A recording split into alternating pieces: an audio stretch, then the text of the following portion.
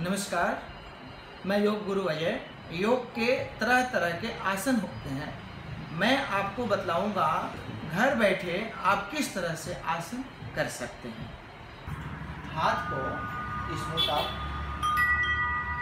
इस हिसाब से बॉडी को वाइब्रेशन करिए।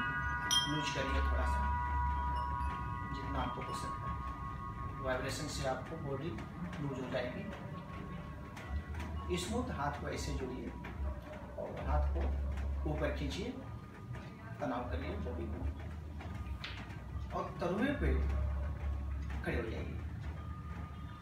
और आप इसको स्टिचिंग जंपिंग करिए आप।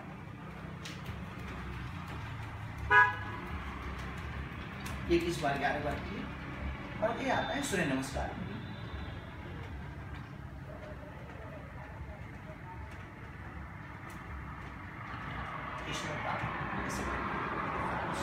इस आसन को करने से आपको गैस से मुक्ति मिल जाएगी।